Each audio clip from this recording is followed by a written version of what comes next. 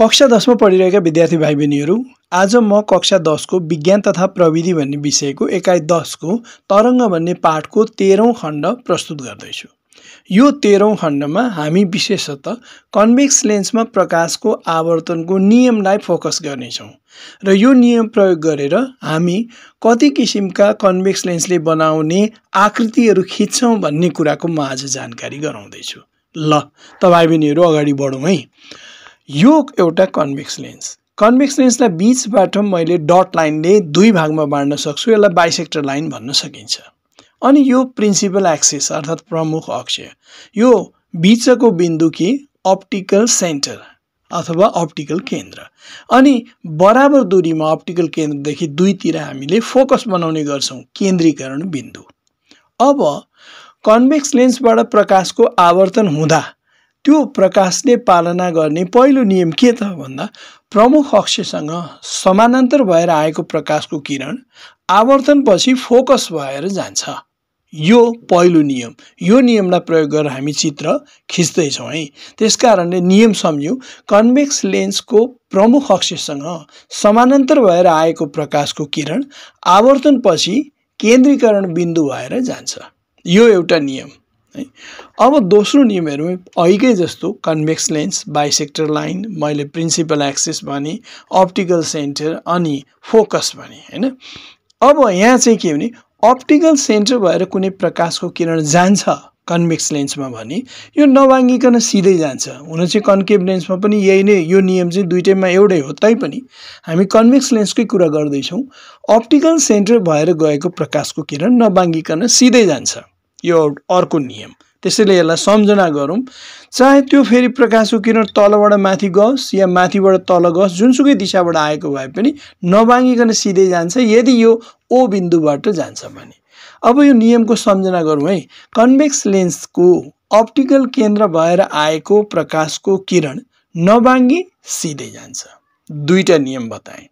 अब यो तेस्रो नियमको लागि हेरौँ है। कन्भेक्स लेन्स बाइसेक्टर लाइन यो प्रमुख अक्ष अप्टिकल सेन्टर अनि यसको फोकस बनाउने फोकस बनाउँदा अप्टिकल सेन्टरदेखि बराबर दूरीमा बनाउनु पर्छ दुई सेन्टिमिटर लियौँ भने दुवैतिर दुई सेन्टिमिटर अप्टिकल सेन्टरबाट है। अब यो लेन्सको केन्द्रीकरण बिन्दु भएर यो लेन्समा प्रकाशको किरण आउँछ भने यो आवर्तनपछि प्रमुख अक्षसँग समानान्तर भएर आवर्तन हुन्छ। भनौँ मतलब यो त एक नम्बरको जस्तै भइगयो नि।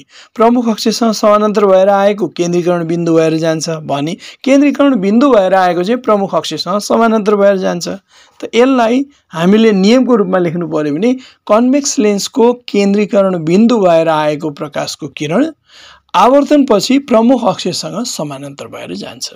मैले तिनवटा नियम बताएँ। तिनवटा नियममध्ये यो तेस्रो नियम चाहिँ प्रयोग गरेर हामी चित्र बनाउँदैनौँ। पहिलो दुईवटा नै काफी छ। त्यसैले पहिलो दुईवटालाई हामीले कसरी युज गर्छौँ र कति किसिमका आकृतिहरू कन्भेक्स लेन्सले बनाउँछ त्यसबारे कुरा गरौँ है। कन्भेक्स लेन्सले बनाउने आकृति। यो आकृति बनाउनुभन्दा पहिले त हामीले के जान्नु पऱ्यो भने कपीमा लाइनवाला कपी नै हुन्छ हाम्रो। त्यो लाइनमा एउटा लाइन तान्ने यो प्रमुख अक्ष। अनि कम्पासको सियो यही लाइनको कुनै एउटा बिन्दुमा राखेर यसरी कन्भेक्स लेन्स बनाउने।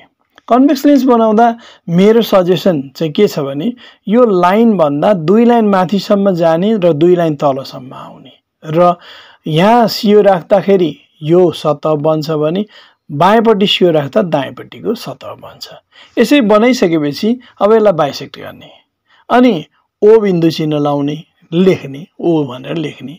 अब अप्टिकल सेन्टरदेखि मेरो विचारमा दुई सेन्टिमिटर पर हामीले दुईवटा बिन्दुहरू चिन्ह लगाउने दुई दुई सेन्टिमिटर। यदि तिन तिन सेन्टिमिटर गर्नु मन छ भने पनि केही छैन तिन तिन सेन्टिमिटर। अनि यो चाहिँ फोकस भयो अर्थात् केन्द्रीकरण बिन्दु भयो। अब अप्टिकल सेन्टरदेखि फोकससम्मको दूरीभन्दा अप्टिकल सेन्टरदेखि दोब्बर दूरीमा अर्को चिन्ह लगाउने दुवैतिर। त्यसलाई टु एफ लेख्ने फोकससम्मको दूरीभन्दा दोब्बर दूरीमा रहेको बिन्दु भन्ने। यति चाहिँ कन्भेक्स लेन्सको लागि सबै चित्रहरूमा सेम टु सेम अब बनाउने छवटा चित्रमा सेम टु सेम अब हामीले कुनै वस्तुलाई यो लेन्सको अगाडि विभिन्न स्थानमा राख्दा यो कन्भेक्स लेन्सले त्यो वस्तुको आकृति कहिले लेन्सको अगाडि बनाउँछ कहिले लेन्सको पछाडि बनाउँछ विभिन्न स्थानमा बनाउँछ। कहिले उल्टो कहिले सुल्टो कहिले ठुलो कहिले सानो यस्तो बनाउँछ। अब त्यस्तो सबै एनालाइसिस गरेर साइन्टिस्टहरूले जम्मा छवटा कन्डिसनहरू बताएका छन्। पहिलो कन्डिसन चाहिँ के त भन्दा वस्तु अनन्तमा हुँदा। अब वस्तु अनन्तमा हुँदा चाहिँ कागजमा वस्तुलाई देखाउने नै होइन। अनन्तमा भएको वस्तुबाट प्रकाशको किरण ल्याएर त्यो वस्तुको आकृति बनाउने। भनेपछि एउटा चित्र हामी वस्तु अनन्तमा हुँदा भनेर त्यो वस्तुबाट आएको प्रकाशको किरणलाई आवर्तन गरेर हामी त्यसको चित्र बनाउँछौँ। यो वस्तु अनन्तमा हुँदाको हामीले उदाहरण लिनु पऱ्यो भने जस्तै भनौँ यो कन्भेक्स लेन्सलाई हामीले चन्द्रमातिर फर्कायौँ भने यो कन्भेक्स लेन्सले त्यो चन्द्रमाको आकृति लेन्स पछाडि फोकसमा बनाउँछ। यो हो वस्तु अनन्तमा हुँदाको एउटा इक्जाम्पल अब अर्को आकृतितिर जाउँ। अब अनन्तमा वस्तु नभएर यो टुएफदेखि पर अनन्तदेखि वर कतै वस्तु छ भने हामीले त्यसको चित्र बनाउँदा सामान्यतया टुएफदेखि अलिकति पर वस्तुलाई यसरी राख्छौँ। र वस्तुको टाउकोबाट दुईवटा प्रकाशको किरणहरू लिएर जान्छौँ। अहिलेकै नियमअनुसार एउटा यो प्रमुख अक्षसँग समानान्तर प्रकाशको किरण लाने फोकस भएर आवर्तन हुन्छ अर्को अप्टिकल सेन्टर भएर लाने नभाङ्गी सिधै जान्छ। जहाँ भेट खान्छ त्यहीँनिर आकृति बन्छ। भनेपछि यो दोस्रो अवस्थाको चित्र हामी के भनेर बनाउँछौँ भन्दा वस्तु टुएफभन्दा पर हुँदा। एउटा अर्को चित्र बनाउँछौँ। होइन? चित्र चाहिँ अहिले मैले बनाइसकेको छुइनँ नि वस्तुको पोजिसन मात्रै देखाउँदैछु। अब वस्तुलाई अझ नजिक ल्यायौँ भने टुएफभन्दा पर होइन टुएफमा राख्दा एक खालको आकृति बन्छ। भनेपछि अब यहाँ वस्तुलाई हामीले यो टुएफमा राख्दा भनेर हेडिङ बनाउँछौँ यसरी वस्तुलाई टुएफमा राख्दा अथवा हुँदा यसबाट पनि त्यही दुईवटा नियम प्रयोग गर्छ। एउटा प्रमुख अक्षसँग समानान्तर किरण ल्याउने फोकस भएर लाने अनि अर्को अप्टिकल केन्द्र भएर लाने सिधा नबाङ्गिकन सिधै लाने। जहाँ भेट हुन्छ त्यहाँ आकृति बन्छ। तेस्रो चित्र त्यसरी बनाउँछौँ। पहिले चित्र बनाउनुभन्दा अगाडि मैले जानकारी गराएको है। अब वस्तुलाई हामी लेन्सको नजिक नजिक ल्याउँदैछौँ है। कहाँ राख्दा कस्तो आकृति बन्छ भन्ने कुरा हामी हेर्दैछौँ। टु एफ र एफको बिचमा जुनसुकै पोजिसनमा यहाँ।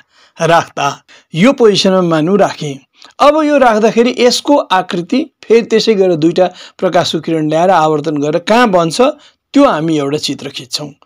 अब वस्तु टु एफ र एफको बिचमा नभएर अझ नजिक ल्याउनु पऱ्यो भने फोकसमा राख्ने हो होइन त?